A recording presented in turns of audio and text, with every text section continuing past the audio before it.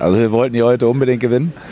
Ähm, trotzdem bin ich jetzt nach dem Schlusspfiff äh, nicht unglücklich. Ich bin äh, froh darüber, dass wir das Spiel noch biegen konnten, dass wir zumindest einen Punkt mitgenommen haben und äh, die Leistung, die wir heute gebracht haben, darauf lässt sich aufbauen. Wir waren heute nicht in, in 100% Topform, aber wir waren auch nicht äh, wirklich irgendwo in Bereichen schlecht, wo wir sagen können, äh, das, das war jetzt gar nichts. Ähm, wir können es noch besser, ähm, aber ja, den Punkt nehmen wir gerne mit. Ja, die Jungs wollten ja. Es ist immer die Voraussetzung, dass man eine Mannschaft hat, die will. Und wenn eine Mannschaft will, dann, ähm, ja, dann funktioniert das auch. Also es sind gute Charaktere in der Mannschaft.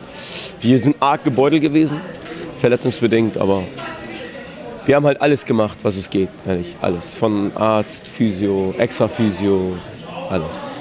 Ja, war eine schwierige Partie. Ich denke, Altona war am Anfang besser, in der ersten Halbzeit auch und ja, wir sind dann immer besser ins Spiel gekommen. Ende der Halbzeit waren wir dann stärker und kriegen ein ärgerliches Gegentor in der zweiten Halbzeit und danach hat Altona sich zurückgezogen und ich denke, wir haben klar das Spiel übernommen und wenn das Spiel noch fünf bis zehn Minuten länger gedauert hätte, hätten wir auch gewonnen.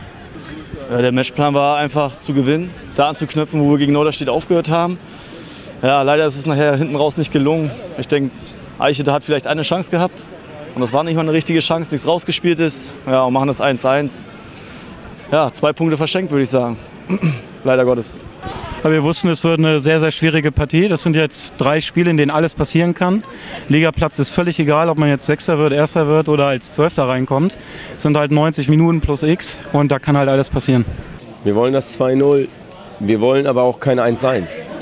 Und das hatten wir eigentlich auch auf dem Fuß. Also Lipkes Ding ähm, rutscht ein bisschen auf dem rechten Fuß.